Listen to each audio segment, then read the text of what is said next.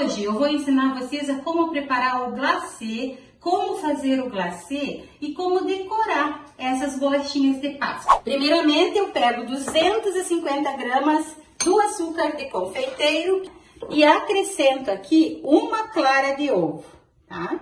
Uma clara de ovo. Aí eu vou começar a mexer este açúcar para que ele comece a dar consistência, tá?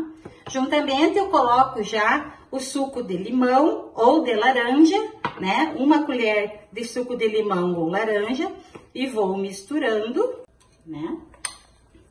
Para que eu possa então preparar ele para usar.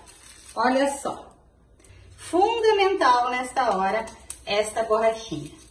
Não adianta vocês quererem usar aquelas borrachinhas que se amarra dinheiro.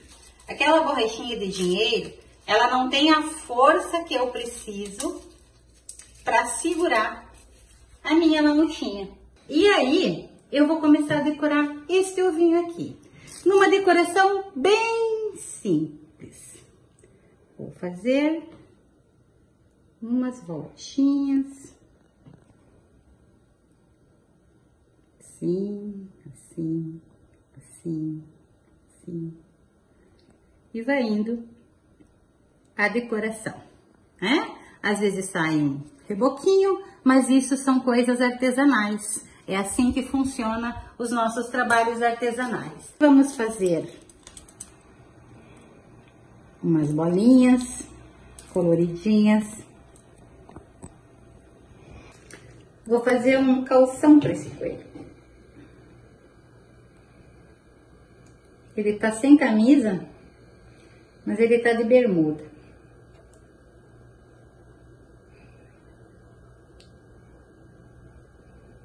Para espalhar, sempre pegando o palitinho.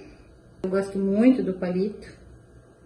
Eu acho o palito bem mais prático. E daí agora, algumas surpresas que a gente faz quando faz a bolacha. Por exemplo, pegar o palito e passar assim. Limpar e passa assim. É de cada um. Cada uma de vocês pode ter a criatividade de fazer. Então é isso, gente. Eu gostaria de dizer para vocês que nesta época a gente tem que achar algumas coisas que nos façam felizes.